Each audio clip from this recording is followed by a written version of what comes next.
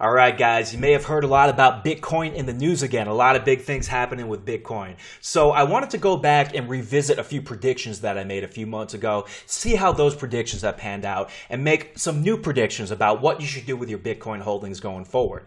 So you can see in the background here, I released this video a few months ago called Why Bitcoin is Worthless Garbage. Unexpectedly, it became one of the most viewed videos on my channel, uh, and it got about 50,000 views so far.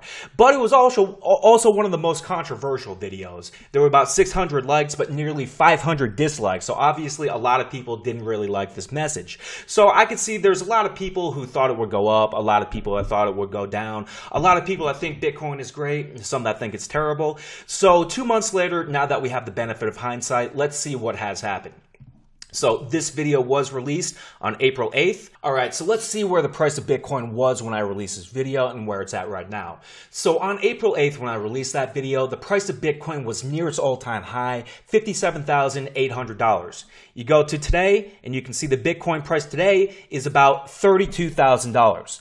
If you had Bitcoin at that time and you held it and didn't take my advice, you would have lost half your money. And if you had taken my advice, you could have avoided that 50% loss.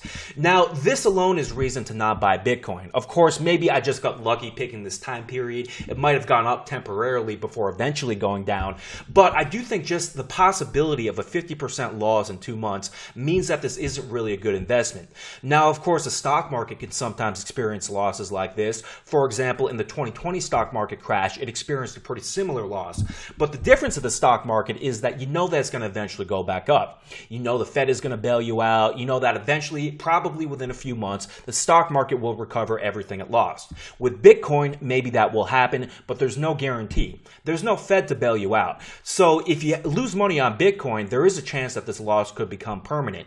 You cannot take the chance of a 50% permanent loss if you're serious about making money. If you're going to take the chance of loss, you only want to take the the chance of temporary loss. And you want to have the Fed behind you to bail you out whenever things go wrong. So that's one reason why you shouldn't buy Bitcoin, why I still feel that Bitcoin is worthless garbage. But the even more important reason than the temporary price decline is this. Now, you guys may have heard about this. Africrypt, one of the biggest cryptocurrency exchanges, recently had the owners disappear with 2.5 billion pounds, which is 3.5 billion dollars in the biggest cryptocurrency theft in history. Now, I talked about a few of these cryptocurrency thefts in the past, Mt. Gox and a few of the other big ones, but those ones only stole hundreds of millions, and that is now small potatoes compared to the amount of Bitcoin people are stealing these days. Let's look at what happened in this article. So, according to the Sun Crypto Mystery, Bitcoin trader bro- brothers vanished with 2.5 billion pounds or 3.4 billion dollars in the biggest crypto theft in history after claiming platform was hacked. Two South African brothers who launched a Bitcoin business from their bedroom and gathered 2.5 billion pounds in funds have vanished in what is suspected to be the biggest crypto heist in history. Raees and Ameer Cajee, 21 and 17 respectively, have been missing since April when their trading platform was shut down over an alleged cyber attack. Now, a couple things I want you to notice from this story. Number one, the amount. $3.4 billion or 2.5 billion pounds any currency where you can steal billions and get away with it, as these guys likely will, is an unacceptable store of value. This is probably only the beginning because we can see a trend of increasing Bitcoin thefts over time. Maybe the next one will be for 5 billion or 10 billion or 20 billion. Who knows what the risk really might be of theft when you're holding Bitcoin. That's the first thing you got to notice. But here's the second thing you got to notice the guys who stole these billions were 21 and 17. A teenager, someone who hasn't even finished high school yet, stole 2.5 billion pounds, 3.4 billion dollars worth of Bitcoin. And this is the other thing that should be really concerning. So these guys, they're very young and there are obviously much more sophisticated financial criminals out there. Seeing that a teenager was able to steal this much is going to inspire a lot of other thieves to step up their games and more sophisticated thieves will probably steal even more. And you can see just looking from these guys, and look at the type like the type of guys who are partying, going to the clubs a lot. They don't look like the most sophisticated financial criminals in the world. Those guys are about to jump into Bitcoin crime right now, and they're probably going to steal even more than $3 billion. Now, here's another part of the story that I want to point out here. So, what happened was that the brothers who stole the money, the Cajee brothers, kicked off staff off Africrypt's, the Bitcoin exchange, back end programmers, seven days before the alleged attack. Now, this is another detail of the story that makes it really egregious to me.